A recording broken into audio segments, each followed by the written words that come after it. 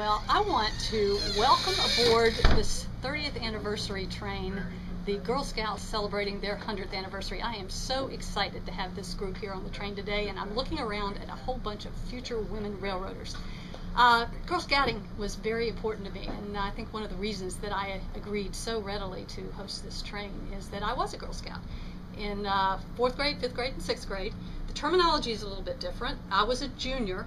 We flew up, I think, was the way it was it was uh, characterized then, to a cadet and I stayed in for one more year. I still remember my Girl Scout oath, even though it is somewhat changed from uh, from when uh, from today, and, and I think some of the wording has been changed a little bit. But I can remember that scouting taught me so many things. Scouting taught me about service, and service to the community is something I think that has stuck with me my entire life. Scouting taught me about sales.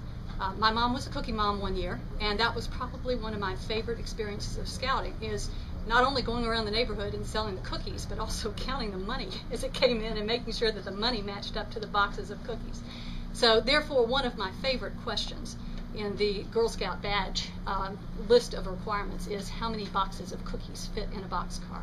I don't know the answer. I'm hoping to find that out on the train today.